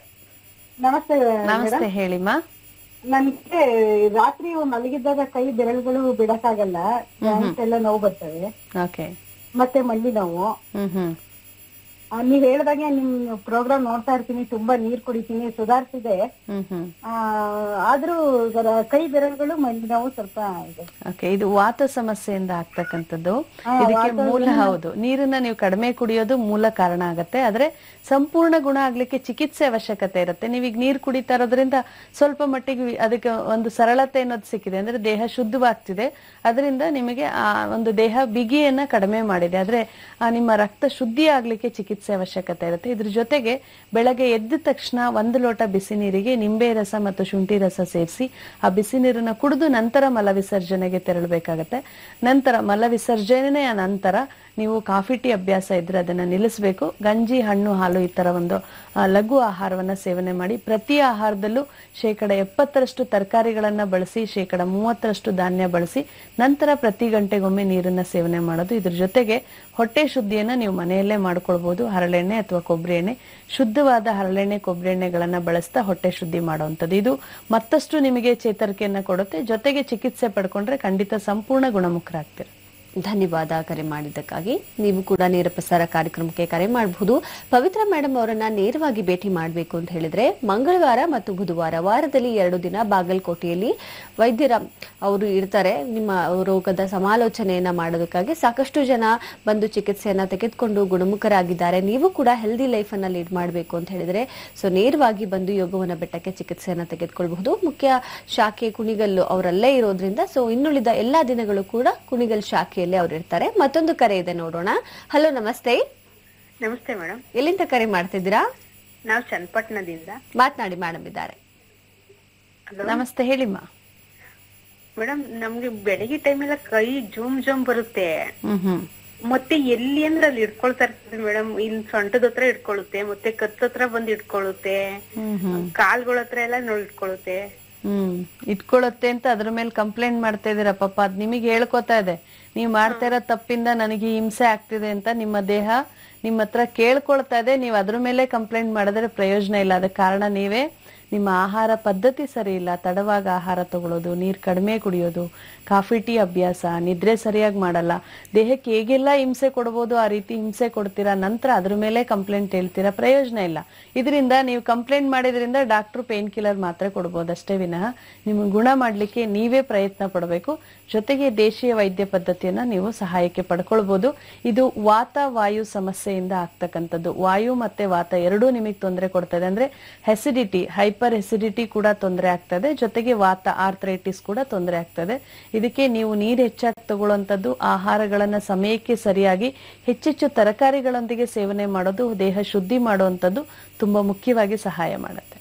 ಧನ್ಯವಾದ ಕರೆ ಮಾಡಿದ್ದಕ್ಕಾಗಿ. ಮತ್ತೊಂದು ಕರೆ. ಹಲೋ, ನಮಸ್ತೆ. ಹಲೋ ಮೇಡಮ್ ಮೇಡಮ್ ಇದ್ದಾರೆ ಪ್ರಶ್ನೆ ಕೇಳಿ ಏನ್ ಸಮಸ್ಯೆ ಇದೆ? ಹಾ ಮೇಡಮ್ ನಮಸ್ತೆ ಹೇಳಿ ಸರ್. ನಮಸ್ತೆ. ನಮಸ್ತೆ. ನಮ್ಗೆ ಹೊಟ್ಟೆ ಉಬ್ರ ಬರದು ಗಾಡಿ ತುಂಬ್ಕೊಳೋದು. ಹ್ಮ್ ಹ್ಮ್. ಮೋಷನ್ ನೀಟಾಗಿ ಪಾಸ್ ಆಗಲ್ಲ ಮೇಡಮ್ ಮೋಷನ್ ಅಲ್ಲಿ ಅಂಟ್ಕೊಂಡ್ ಬರೋದು. ಅದೇ ಹಿಂಸೆ ಮೇಡಮ್ ಓಕೆ ನಿಮ್ದು ಅಜೀರ್ಣ ಒಂದೂವರೆ ಸಮಸ್ಯೆ? ಒಂದೂವರೆ ವರ್ಷದಿಂದ ಈ ಸಮಸ್ಯೆ ಮೇಡಮ್ ನನಗೆ ಆಮೇಲೆ ಊಟ ಮಾಡ್ಬೇಕು ಅನ್ಸ್ತದೆ ಮಾಡಿದ್ರೆ ಹಿಂಗೆ ಮೋಷನ್ ನೀಟಾಗಿ ಪಾಸ್ ಆಗಲ್ಲ ಹ್ಮ್ ಹ್ಮ್. ಜೀರ್ಣ ಆಗದೆ ಇರೋದ್ರಿಂದ ತೊಂದರೆ ಆಗತ್ತೆ. ನಿಮಗೆ ಆಹಾರಗಳ ಜೀರ್ಣನೇ ಆಗಿಲ್ಲ ಅಂದ್ರೆ ಮಲವಿಸರ್ಜನೆ ಆಗೋದಿಲ್ಲ. ಸಾಮಾನ್ಯ ನೀವು ಬೆಳಗ್ಗೆ ಎದ್ದು ಮಲವಿಸರ್ಜನೆ ಮಾಡಿದಾಗ ಸ್ವಲ್ಪ ಆರಾಮಿದೆ ಅನ್ಸುತ್ತೆ. ಬೆಳಗ್ಗೆ ಟಿಫನ್ ಮಾಡ್ತೀರಾ ಸ್ವಲ್ಪ ಉಬ್ಬರ ಆಗತ್ತೆ. ಮಧ್ಯಾಹ್ನ ಊಟ ಮಾಡಿದ್ರೆ ಮತ್ತೆ ಉಬ್ಬರ ಆಗತ್ತೆ. ರಾತ್ರಿ ಊಟ ಮಾಡೋಷ್ಟ್ರಲ್ಲಿ ಮತ್ತಷ್ಟು ಉಬ್ಬರ ಆಗಿ ಹೊಟ್ಟೆ ಬಿಗಿ ಅನ್ಸುತ್ತೆ ಮಲ ವಿಸರ್ಜನೆ ಆಗೋದಿಲ್ಲ. ಯಾಕಂದ್ರೆ ಇಡೀ ದಿನ ತಿಂದಂತ ಆಹಾರಗಳು ಯಾವುದೂ ನಿಮಗೆ ಜೀರ್ಣಕ್ರಿಯೆ ಆಗ್ತಾ ಇಲ್ಲ. ಇದರಿಂದ ಹೊಟ್ಟೆ ಉಬ್ಬರ ಜಾಸ್ತಿ ಆಗ್ತಾ ಹೋಗುತ್ತೆ. ಇದಕ್ಕೆ ಮೊದಲು ನೀವು ಮಾಡಬೇಕಾಗಿರೋದು ಹರಳೆಣ್ಣೆ ಸೇವನೆ, ಹೊಟ್ಟೆ ಶುದ್ಧಿಗಾಗಿ. ಅಂದ್ರೆ ಜೀರ್ಣವಾಗದೆ ಉಳಿದಂತ ಆಹಾರಗಳು ಗ್ಯಾಸ್ ಉತ್ಪತ್ತಿಯನ್ನ ಮಾಡ್ತಾ ಇದೆ. ಇದನ್ನ ಶುದ್ಧಿ ಮಾಡಲಿಕ್ಕೆ ಹರಳೆಣ್ಣೆ ಸೇವನೆ ಮಾಡಿ. ನಂತರ ನೀವು ಸೇವನೆ ಮಾಡೋ ಆಹಾರಗಳು ಜೀರ್ಣ ಆಗೋಂಥದ್ದಿರ್ಲಿ ಯಾಕಂದ್ರೆ ಜೀರ್ಣ ಶಕ್ತಿನೇ ಕಡಿಮೆ ಆಗಿರೋದ್ರಿಂದ ನೀವು ಅಜೀರ್ಣ ಪದಾರ್ಥಗಳನ್ನ ಕೊಡ್ತಾ ಹೋದಾಗ ಮತ್ತಷ್ಟು ಸಮಸ್ಯೆ ಆಗುತ್ತೆ. ಸಮಯಕ್ಕೆ ಸರಿಯಾಗಿ ಹೆಚ್ಚೆಚ್ಚು ತರಕಾರಿಗಳನ್ನು ಹಣ್ಣುಗಳನ್ನ ಬಳಸಿ ಸ್ವಲ್ಪ ಮಟ್ಟಿಗೆ ಧಾನ್ಯ ಕೊಡೋದ್ರಿಂದ ಬಹುಬೇಗ ಜೀರ್ಣ ಆಗ್ಲಿಕ್ಕೆ ಸಹಾಯ ಆಗುತ್ತೆ. ನಂತರ ಪ್ರತಿ ಆಹಾರಕ್ಕೂ ಬಳಿಕ ಅರ್ಧ ಗಂಟೆ ಬಿಟ್ಟು ಗಂಟೆಗೊಂದ್ಸಲಿ ನೀರು ಕೊಡೋ ಅಭ್ಯಾಸ ಮಾಡಿ ಇದರಿಂದ ಕೂಡ ಜೀರ್ಣಕ್ರಿಯೆಗೆ ಸಹಾಯ ಆಗುತ್ತೆ. ಇದರ ಜೊತೆಗೆ ಜೀರ್ಣ ಶಕ್ತಿ ಹೆಚ್ಚಿಸ್ಕೊಳ್ಳಿಕ್ಕೆ ಯೋಗವನ್ನ ಬೆಟ್ಟದ ಚಿಕಿತ್ಸೆಯನ್ನ ಪಡ್ಕೊಳ್ಬಹುದು ಧನ್ಯವಾದ. ಮತ್ತೊಂದು ಕರೆ ಇದೆ. ಹಲೋ ನಮಸ್ತೆ. ನಮಸ್ಕಾರ. ಇಲ್ಲಿಂದ ಕರೆ ಮಾಡ್ತಿದ್ದೀರಾ? ಹಲೋ. ಮಾತನಾಡಿ ನೇರವಾಗಿ ಪ್ರಶ್ನೆ ಕೇಳಿ ಮೇಡಮ್ ಇದ್ದಾರೆ. ಹಲೋ ನಾವು ಮೇಡಮ್ ನಾವು ಟಿವಿ ನೋಡ್ಕೊಂಡು ಮಾತನಾಡ್ಬಿಡಿ. ಟಿವಿ ವಾಲ್ಯೂಮ್ ಅನ್ನ ಕಮ್ಮಿ ಮಾಡಿ. ಹ್ಮ್, ಸರಿ ಸರಿ ಪ್ರಶ್ನೆ ಕೇಳಿ ಸರ್ ಏನ್ ಸಮಸ್ಯೆ ಇದೆ ಕೇಳಿ. ಆ, ಮತ್ತೆ ನನಗೆ ಯೂರಿನ್ ಯೂರಿನ್ ತುಂಬಾ ಹೆಚ್ಚೊತ್ತು ಹೋಗುತ್ತೆ ಮೇಡಮ್ ಓಕೆ ಅಂದ್ರೆ ಸಂಪೂರ್ಣ ಹೋಗ್ತಾ ಇದೆ ಅಂತ ಅನ್ಸುತ್ತಾ ಅಥವಾ ನಿಧಾನವಾಗಿ ಹೋಗುತ್ತಾ? ಇಲ್ಲ ಹತ್ತತ್ತು ನಿಮಿಷಕ್ಕೂ ಹತ್ತತ್ತು ನಿಮಿಷಕ್ಕೂ ಹೋಗುತ್ತೆ ಮೇಡಮ್ ಹ್ಮ್ ಹ್ಮ್. ತಮ್ಮ ವಯಸ್ಸು ಎಷ್ಟಿದೆ? ಒಂದ್ಸರಿ ಬೆಳಗಾನ ಒಂದ್ ಹತ್ತು ಸರಿ ರಿಸರ್ಚ್ ಮಾಡ್ತೀನಿ. ತಮ್ಮ ವಯಸ್ಸು ಸರ್? ನನ್ನ ಅರವತ್ತೊಂದು ಮೇಡಮ್ ಓಕೆ ಈ ಒಂದು ವಯಸ್ಸಿನ ನಂತರ ಬರುವಂತದ್ದು ಪ್ರೋಸ್ಟೇಟ್ ಎನ್ಲಾರ್ಜ್ಮೆಂಟ್ ಅಂತ ಹೇಳ್ತೀವಿ. ಅಂದ್ರೆ ಅಷ್ಟಿಲ ಊತ. ಈ ಅಷ್ಟಿಲ ಊತ ಸಮಸ್ಯೆ ಇದ್ದಾಗ ಈ ರೀತಿ ತೊಂದರೆ ಆಗತ್ತೆ. ಈ ಸಮಸ್ಯೆ ಏನಾದ್ರೂ ನಾನು ಪರೀಕ್ಷೆ ಮಾಡಿಸಿದ್ದು ನನಗೆ ಈ ರೀತಿ ತೊಂದರೆ ಆಗಿಲ್ಲ ಅನ್ನೋದು ಖಚಿತಗೊಂಡಿದ್ರೆ ಇನ್ನು ಉಳಿದಿರೋ ಸಮಸ್ಯೆ ಇನ್ಫೆಕ್ಷನ್ ಅಂದ್ರೆ ತೀವ್ರ ಮಲಬದ್ಧತೆಯ ಕಾರಣದಿಂದ ಮೂತ್ರ ಸಂಪೂರ್ಣವಾಗಿ ಹೊರಗೆ ಹೋಗ್ತಾ ಇಲ್ಲ. ಅಲ್ಲೇ ಉಳಿದಂತ ಮೂತ್ರ ಪದೇ ಪದೇ ನಿಮಗೆ ಹೊರಗೆ ಬರಬೇಕಾಗತ್ತೆ. ಅಂದ್ರೆ ನಮ್ಮ ದೊಡ್ಡ ಕರಳಲ್ಲಿ ಉಳಿದಂತ ಮಲ ಸಂಗ್ರಹ ಏನಿದೆ, ಅದು ನಮ್ಮ ಮೂತ್ರಕೋಶ ಮತ್ತು ಮೂತ್ರ ನಾಳಗಳ ಮೇಲೆ ಒತ್ತಡವನ್ನ ಬಿದ್ದಾಗ ಆ ಒಂದು ಮೂತ್ರ ಸಂಪೂರ್ಣ ಹೊರಗೆ ಬರೋದಿಲ್ಲ. ನಾವು ಹೋದಾಗ ಹೋಗ್ಬೇಕು ಅಂತ ಅನ್ಸುತ್ತೆ ಪೂರ್ತಿ ಹೋಗೋದಿಲ್ಲ ಮತ್ತೆ ಒಂದು ಇಪ್ಪತ್ತು ನಿಮಿಷದಲ್ಲಿ ಮತ್ತೆ ಹೋಗ್ಬೇಕನ್ಸುತ್ತೆ. ಹೀಗೆ ಒಂದು ಸಾರಿ ಹೋಗ್ಬೇಕಾಗಿರೋ ಮೂತ್ರ ನಾಲ್ಕು ಸಾರಿ ಹೋಗ್ತಾ ಇರ್ತೀವಿ. ಸೊ ಈ ಒಂದು ಸಮಸ್ಯೆ ಒಂದು ಇನ್ಫೆಕ್ಷನ್ ಇಂದ ಆಗತ್ತೆ ಮತ್ತೊಂದು ಪ್ರೋಸ್ಟೇಟ್ ಎನ್ಲಾರ್ಜ್ಮೆಂಟ್ ಇಂದ ಆಗತ್ತೆ. ಒಮ್ಮೆ ಭೇಟಿ ಮಾಡಿ ಸಮಸ್ಯೆ ಏನು ಅನ್ನೋದನ್ನ ತಮ್ಮನ್ನ ನೋಡಿದಾಗ ಖಚಿತವಾಗಿ ಚಿಕಿತ್ಸೆ ಕೊಡ್ಲಿಕ್ಕೆ ಸಹಾಯ ಆಗತ್ತೆ. ಧನ್ಯವಾದ. ಮತ್ತೊಂದು ಕರೆ ಇದೆ. ಹಲೋ ನಮಸ್ತೆ. ನಮಸ್ತೆ. ಎಲ್ಲಿಂದ ಕರೆ ಮಾಡ್ತಿದ್ದೀರಾ? ಗುರುಪ್ರಸಾದ್ ಅಂತ ಹೇಳಿ ಮೈಸೂರಿಂದ. ಮಾತನಾಡಿ ಪ್ರಶ್ನೆ ಕೇಳಿ. ಶರಣ ಮೇಡಮ್. ಶರಣ ಶರಣಾರ್ಥಿ ಹೇಳಿ ಸರ್. ಮೇಡಮ್ ನಮ್ಮ ತಾಯಿಗೆ ಎಪ್ಪತ್ತೈದು ವರ್ಷ. ಕ್ರಿಯೇಟಿನ್ ಇನ್ನು ಒನ್ ಪಾಯಿಂಟ್ ನೈನ್ ಇದೆ. ಓಕೆ. ಡಾಕ್ಟರ್ ತೋರಿಸಿದ್ರೆ ಪುನಃ ಅವರು ಏನ್ ಮಾಡಿದ್ರು ಹದಿನೈದು ದಿನ ಮಾತ್ರ ಕೊಟ್ಟಿದ್ದಾರೆ. ಅದು ಕಡಿಮೆ ಹದಿನೈದು ಪುನಃ ಹದಿನೈದು ದಿನ ಆದ್ಮೇಲೆ ನೀವು ಪುನಃ ಟೆಸ್ಟ್ ಮಾಡ್ಕೊಂಡ್ ಬನ್ನಿ ಅಂತ ಹೇಳಿದ್ರೆ ಮೇಡಮ್. ಓಕೆ. ಅವ್ರಿಗೆ ಶುಗರ್ ಇಲ್ಲ ಏನಿಲ್ಲ. Okay okay. ಖಂಡಿತ ಇದಕ್ಕೆ ಚಿಕಿತ್ಸೆ ಇದೆ. ನೀವು ಆದಷ್ಟು ಈ ಕೆಮಿಕಲ್ಸ್ ಔಷಧಿಗಳನ್ನ ಈ ವಿಚಾರಗಳಲ್ಲಿ ಬಳಸೋದು, ಆದಷ್ಟು ಅವಾಯ್ಡ್ ಮಾಡೋದು ತುಂಬಾ ಒಳ್ಳೇದು. ಯಾಕಂದ್ರೆ ಸಾಮಾನ್ಯ ಕೇಳಿರ್ತೀರಾ, ಕೆಮಿಕಲ್ ಔಷಧಿಗಳನ್ನ ನಾವು ಹೆಚ್ಚು ಬಳಸಿದಾಗ ಕಿಡ್ನಿಗೆ ತೊಂದರೆ ಆಗತ್ತೆ ಅಂತ. ಅದೇ ಕಿಡ್ನಿ ಸಮಸ್ಯೆ ಬಂದಾಗ ನಾವು ಮತ್ತು ಅದೇ ಮಾತ್ರೆಗಳನ್ನು ತಿಂದಾಗ ಮತ್ತಷ್ಟು ಸಮಸ್ಯೆ ಆಗುತ್ತೆ. ನಮ್ಮ ಬಳಿ ಬರುವಂಥ ಎಷ್ಟೋ ರೋಗಿಗಳು ಹೇಳ್ತಾರೆ, ನಾವು ಸ್ಟಾರ್ಟಿಂಗ್ ಅಲ್ಲಿ ಒನ್ ಪಾಯಿಂಟ್ ಸಿಕ್ಸ್ ಇತ್ತು ಒನ್ ಪಾಯಿಂಟ್ ಸೆವೆನ್ ಇತ್ತು, ಮಾತ್ರೆಗಳನ್ನು ಕೊಟ್ಟರು ಅದನ್ನ ತಗೊಳ್ತಾನೆ ಬಂದವು. ಒಂದು ವರ್ಷ ಆಯ್ತು, ಎರಡು ವರ್ಷ ಆಯ್ತು. ದಿನೇ ದಿನೇ ನನ್ನ ಕ್ರಿಯಾಟಿನಿನ್ ಜಾಸ್ತಿ ಆಗ್ತಿದೆ, ವಿನಃ ಕಡಿಮೆ ಆಗ್ತಾ ಇಲ್ಲ. ಈಗ ಐದು ಆರಕ್ಕೆ ತಲುಪಿದೀವಿ. ಈಗ ಡಯಾಲಿಸಿಸ್ ಮಾಡಬೇಕು ಅಂತ ವೈದ್ಯರು ಹೇಳ್ತಿದ್ದಾರೆ ಅಂತ. ಯಾಕೆ ಹೀಗಾಯ್ತು ನೀವು ತಗೊಂಡಿರೋ ಅದೇ ಕೆಮಿಕಲ್ ಮಾತ್ರೆ ನಿಮ್ಮ ಕಿಡ್ನಿಯನ್ನು ಮತ್ತಷ್ಟು ಹಾಳು ಮಾಡ್ತಾ ಇದೆ. ನಂತರ ಆ ಮಾತ್ರೆಯಿಂದ ಸರಿಪಡಿಸಕ್ಕಾಗ್ಲಿಲ್ಲ, ಡಯಾಲಿಸಿಸ್ ಶುರು ಮಾಡಿದ್ರೆ ಆ ಡಯಾಲಿಸಿಸ್ ಮತ್ತಷ್ಟು ಕಿಡ್ನಿನ ಹಾಳು ಮಾಡ್ಲಿಕ್ಕೆ ಶುರುವಾಗುತ್ತೆ. ಹೀಗೆ ಚಿಕ್ಕ ಸಮಸ್ಯೆಯನ್ನು ನಾವೇ ಮೈಮೇಲೆ ಹೇಳ್ಕೊಂಡು ಅದನ್ನ ದೊಡ್ಡದು ಮಾಡ್ಕೊಂಡಿರ್ತೀವಿ. ಹಾಗಾಗಿ ಇದನ್ನ ನಿರ್ಲಕ್ಷ್ಯ ಮಾಡಬೇಡಿ. ಕೇವಲ ಎರಡು ತಿಂಗಳಲ್ಲಿ ಈ ಸಮಸ್ಯೆಯಿಂದ ಹೊರಗೆ ಬರ್ಬೋದು. ಚಿಕಿತ್ಸೆ ಇದೆ. ಖಂಡಿತ ಭೇಟಿ ಮಾಡಿ ಚಿಕಿತ್ಸೆ ಪಡ್ಕೊಳ್ಳಿ. ಧನ್ಯವಾದ ಕರೆ ಮಾಡಿದ್ದಕ್ಕಾಗಿ. ಯಾವುದೇ ಆರೋಗ್ಯದ ಸಮಸ್ಯೆಗಳು ಬರಲಿ ಮೇಡಮ್ ನಾವೊಂದಷ್ಟು ತಪ್ಪುಗಳನ್ನು ಮಾಡ್ತಿರ್ತೀವಿ. ಸೊ ಋತು ನೋವಿನ ಬಗ್ಗೆ ಇವತ್ತಿನ ಕಾರ್ಯಕ್ರಮದಲ್ಲಿ ನಾವು ಮಾತನಾಡ್ತಾ ಇದ್ವಿ. ಮೂಲದ ಬಗ್ಗೆ ತಿಳಿಸ್ಕೊಟ್ರಿ. ಜೊತೆಗೆ ತಡೆಗಟ್ಟುವ ಕ್ರಮ ಹಾಗೆ ಮನೆಮದ್ದುಗಳು ಯಾವ ರೀತಿ ಮಾಡಬೇಕು ತಿಳಿಸ್ಕೊಡಿ. ತಡೆಗಟ್ಟುವಂತ ಕ್ರಮ ಅಂತ ಹೇಳಿದ್ರೆ ಮೊದಲು ನಮ್ಮ ಜೀವನ ಶೈಲಿ ಬದಲಾಗಬೇಕು. ಸಾಮಾನ್ಯ ಹೆಣ್ಣು ಮಕ್ಕಳು ಈ ಒಂದು ಋತು ನೋವು ಬರೋದಕ್ಕೆ ಒಂದು ಮಾತ್ರೆ ಅನ್ನೋದಂತೂ ಇಟ್ಕೊಂಡ್ಬಿಟ್ಟಿರ್ತಾರೆ. ತಲೆನೋವು ಬಂದಾಗ್ಲಿ ಹೆಣ್ಮಕ್ಳಿಗೆ ನೋವು ತಡ್ಕೊಳಕ್ಕಾಗಲ್ಲ ಆದ್ರೆ ನೋವು ಬರ್ಸ್ಕೊಳ್ಳೋದ್ ಮಾತ್ರ ಈಸಿಯಾಗಿ ಬರ್ಸ್ಕೊತಾರೆ. ಸೊ ಬಂದ ತಕ್ಷಣ ಮಾತ್ರೆ ನುಂಗಿ ಅದನ್ನ ಶಮನ ಮಾಡೋ ಪ್ರಯತ್ನ ಮಾಡ್ತಾರೆ. ಇದರಿಂದ ಸಾಕಷ್ಟು ತೊಂದರೆಗಳಿಗೆ ನಾವೇ ದಾರಿ ಮಾಡಿಕೊಟ್ಟಂಗಾಗುತ್ತೆ. ಹಾಗಾಗಿ ಪೇನ್ ಬಂತು ಅಂದ ತಕ್ಷಣ ಮಾತ್ರೆ ನುಂಗೋದ್ರ ಬದಲು ಮುನ್ನೆಚ್ಚರಿಕೆ ಪೇನ್ ಬರದೇ ಇರೋಂಗೆ ನಾವ್ ಏನ್ ಮಾಡ್ಬೇಕಿತ್ತು ಅಂತ ಒಂದು ದೇಹ ಶುದ್ಧೀಕರಣ ಈಗ ಆಲ್ರೆಡಿ ಬರ್ತಾ ಇದೆ.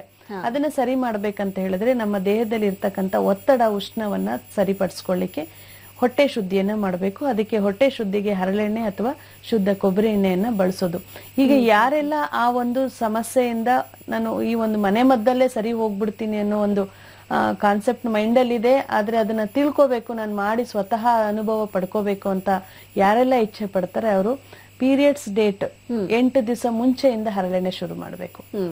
ಅಲ್ ಲೀಸ್ಟ್ ನನಗೆ ಈ ಟೈಮಿಗೆ ನನಗೆ ಸ್ವಲ್ಪ ಕಂಟ್ರೋಲಿಗೆ ಬರಬೇಕು ಇದು ಆಗತ್ತಾ ನೋಡೋಣ ಅನ್ನೋರು ಎಂಟು ದಿವಸ ಮುಂಚೆನೆ ಹರಳೆಣ್ಣೆ ತಗೊಂಡು ಹೊಟ್ಟೆ ಕ್ಲೀನ್ ಮಾಡ್ಬಿಡ್ಬೇಕು. ಇದರಿಂದ ಫಿಫ್ಟಿ ಪರ್ಸೆಂಟ್ ಪೇನ್ ಕಡಿಮೆ ಆಗುತ್ತೆ. ಯಾಕೆಂದ್ರೆ ಆ ಪೇನಿಗೆ ಮೂಲನೇ ಅದು. ದೊಡ್ಡ ಕರಳಲ್ಲಿ ನಮಗೆ ಶೇಖರಣೆ ಆದಂತದ್ದು ರಕ್ತ ಸಂಚಾರಕ್ಕೆ ತೊಡಕು ಉಂಟಾಗುತ್ತೆ. ಉಷ್ಣ ಜಾಸ್ತಿ ಆಗತ್ತೆ. ಒತ್ತಡ ಜಾಸ್ತಿ ಆಗುತ್ತೆ ಇದರಿಂದ ಪೇನ್ ಜಾಸ್ತಿ ಬರ್ತಾ ಇರುತ್ತೆ. ಸೊ ಫಿಫ್ಟಿ ಪರ್ಸೆಂಟ್ ಆ ಹರಳೆಣ್ಣೆನಲ್ಲೇ ಕಡಿಮೆ ಆಗುತ್ತೆ. ಇನ್ನ ಮಿಕ್ಕಂತದ್ದು ಅದೇ ಎಂಟು ದಿವಸ ದೇಹಕ್ಕೆ ತಂಪು ಮಾಡ್ಲಿಕ್ಕೆ ಶುರು ಮಾಡಬೇಕು. ಯಾವ ಯಾವ ರೀತಿ? ಬೆಳಗ್ಗೆ ಖಾಲಿ ಹೊಟ್ಟೆಯಲ್ಲಿ ಒಂದು ಎಳ್ನೀರಿಗೆ ನಿಂಬೆಹಣ್ಣು ಮತ್ತೆ ಕಲ್ಸಕ್ಕರೆ ಹಾಕಿಟ್ಟು ಕುಡಿಯುವಂಥದ್ದು. ಬಾರ್ಲಿ ಅಕ್ಕಿ ಗಂಜಿ ಸೇವನೆ ಮಾಡೋದಿರ್ಬೋದು. ಎಳ್ಳಿನೀರು ಅಥವಾ ಮಜ್ಜಿಗೆ ಹೆಚ್ಚೆಚ್ಚು ಸೇವನೆ ಮಾಡೋದು ದಾಳಿಂಬೆ ರಸ ಅಂತೂ ತುಂಬಾ ಒಳ್ಳೆಯದಂತ ಔಷಧಿ. ಈ ದಾಳಿಂಬೆ ಹಣ್ಣನ್ನ ಪ್ರತಿನಿತ್ಯ ಸೇವನೆ ಮಾಡೋದು ಕೂಡ ತುಂಬಾ ಉಪಯೋಗ ಆಗತ್ತೆ. ಜೊತೆಗೆ ಖಾರ ತಿನ್ನೋದು ನಿಲ್ಲಿಸ್ಬಿಡ್ಬೇಕು. ಹೆಚ್ಚೆಚ್ಚು ಖಾರ ತಿಂತಿರ್ತಾರಲ್ಲ ಅದನ್ನ ಆ ಎಂಟು ದಿವಸ ಅವಾಯ್ಡ್ ಮಾಡ್ಕೋಬೇಕು. ಮಾಂಸಾಹಾರ ಸೇವನೆ ಮಾಡ್ತಾ ಇದ್ರೆ ಆ ಎಂಟು ದಿವಸ ಸೇವನೆ ಮಾಡಬಾರದು. ನಂತರ ಬೇಕರಿ ಐಟಮ್ಸ್ ತಿಂತಿದ್ರೆ ಜಂಕ್ ಫುಡ್ಸ್ ಅವಾಯ್ಡ್ ಮಾಡಬೇಕು. ಇದೆಲ್ಲವನ್ನು ಅವಾಯ್ಡ್ ಮಾಡ್ಕೊಂಡು ಒಳ್ಳೆ ಆಹಾರದ ಕಡೆ ಗಮನ ಕೊಟ್ಟು ಎಂಟು ದಿವಸ ಕರೆಕ್ಟ್ ಆಗಿ ಫಾಲೋ ಮಾಡಿದ್ರೆ ನೆಕ್ಸ್ಟ್ ಪೀರಿಯಡ್ ಅಲ್ಲಿ ಅವ್ರಿಗೆ ಪೇನ್ ಇರೋದಿಲ್ಲ. ಅದ್ರ ಮೇಲೂ ಸ್ವಲ್ಪ ಮಟ್ಟಿಗೆ ಪೇನ್ ಬಂದಿದೆ ಅಥವಾ ನಾವು ಫಾಲೋ ಮಾಡಕ್ಕಾಗಿಲ್ಲ ಪೇನ್ ಆಯ್ತು ಅಂದ್ರೆ ಆ ಮೂರು ದಿನಗಳು ಋತುಸ್ರಾವ ಆಗ್ತಾ ಇರೋ ಮೂರು ದಿನಗಳು ಕಂಪ್ಲೀಟ್ ಖಾರ ನಿಲ್ಲಿಸ್ಬೇಕು. ಖಾರ ಸೇವನೆ ಮಾಡೋಂಗೆ ಇಲ್ಲ. ಮಜ್ಜಿಗೆಯನ್ನ ಹಾಲುವನ್ನ ಅಥವಾ ಖಾರ ಕಡಿಮೆ ಇರುವಂತ ಆಹಾರ ಪದ್ಧತಿ ಜೊತೆಗೆ ತಂಪು ಮಾಡೋದನ್ನ ಹೆಚ್ಚೆಚ್ಚು ಇಡೀ ದಿನ ಗಂಟೆ ಗಂಟೆಗೂ ತಂಪು ಮಾಡ್ಲಿಕ್ಕೆ ಶುರು ಮಾಡಬೇಕು. ಅದ್ರ ಜೊತೆಗೆ ಒಂದೇ ಒಂದ್ ಮನೆ ಮದ್ದು ಅಂತ ಹೇಳಿದ್ರೆ ಅಡಿಗೆಗೆ ಬಳಸುವಂತ ಹಿಂಗು ಗಟ್ಟಿ ಹಿಂಗು ಅಂತ ಹೇಳ್ತೀವಿ. ಇದನ್ನ ತುಪ್ಪದಲ್ಲಿ ಹುರ್ಕೊಳ್ಬೇಕು. ಉರಿದು ಪುಡಿ ಮಾಡಿ ಇಟ್ಕೊಂಡಿದ್ದು ಆ ಪೇನ್ ಬಂದಾಗ ಪ್ರತಿ ಗಂಟೆಗೆ ಒಂದ್ಸಲಿ ಒಂದೊಂದು ಚಿಟಕಿ ಹಿಂಗಿನ ಪುಡಿಯನ್ನ ಬೆಣ್ಣೆ ಜೊತೆ ಸೇವನೆ ಮಾಡ್ತಾ ಬಂದ್ರೆ ಸಂಜೆ ಒಳಗಾಗಿ ಅವ್ರಿಗೆ ಹೊಟ್ಟೆ ನೋವಿರೋದಿಲ್ಲ. ಇದ್ರ ಮೇಲೂ ಪೇನ್ ಇದೆ ಅಂದ್ರೆ ಯೋಗವನ್ನ ಬೆಟ್ಟದ ಋತು ನೋವು ಮಾತ್ರೆ ತುಂಬಾ ಚೆನ್ನಾಗಿ ಕೆಲಸ ಮಾಡುತ್ತೆ. ಇದನ್ನ ತರಿಸ್ಕೊಂಡು ಬಳಸ್ಬೋದು. ಖಂಡಿತ ಮೇಡಮ್ ಸದಾ ಎಚ್ಚರಿಸ್ತಾ ಇರ್ತೀರಾ ಜೀವನ ಶೈಲಿಯಲ್ಲಿ? ಸಾಕಷ್ಟು ನೀವು ತೊಂದರೆಗಳನ್ನ ಮಾಡಿಕೊಂಡು ಆರೋಗ್ಯದ ಸಮಸ್ಯೆಗಳನ್ನ ಉಲ್ಬಣ ಮಾಡ್ಕೊಳ್ತಾ ಇದ್ದೀರಾ? ಅದರಿಂದ ಹೊರಗಡೆ ಬರೋದಕ್ಕೆ ಮನೆಯಲ್ಲೇ ಮದ್ದಿದೆ ಅಂತ ಹೇಳಿ ತಿಳಿಸ್ಕೊಡ್ತೀರಿ. ಪ್ರತಿ ಕಾರ್ಯಕ್ರಮದಲ್ಲೂ ಧನ್ಯವಾದ. ಇವತ್ತಿನ ಕಾರ್ಯಕ್ರಮವನ್ನು ಇಲ್ಲಿಗೆ ಮುಕ್ತಾಯಗೊಳಿಸ್ತಾ ಇದ್ದೇವೆ. ನಮಸ್ತೆ.